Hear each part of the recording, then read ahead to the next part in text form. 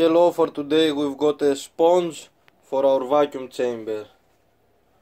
So let's see what's up.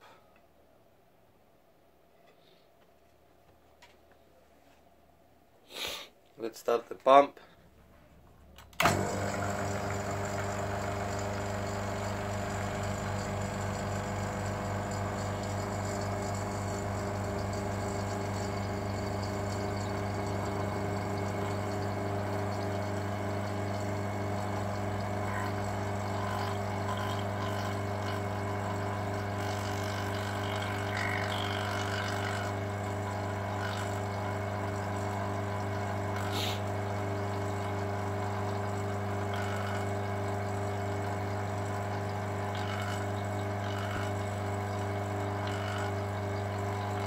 Okay, let's close the pump, release the pressure. Now we are going to add water.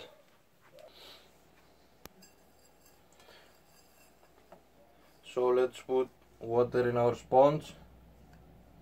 I have added this hose so the water doesn't get in the pump.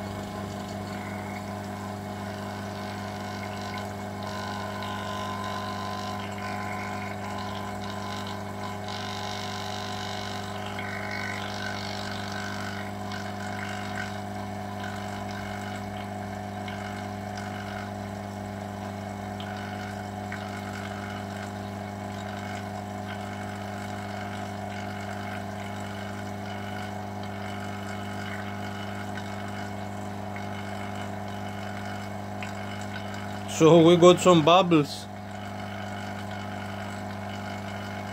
That's interesting.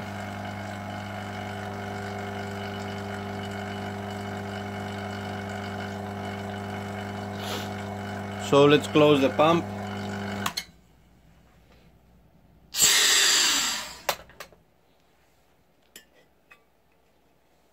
So that was our experiment with the sponge for today it still holds a lot of water. Give this video a like if you enjoyed and see you next time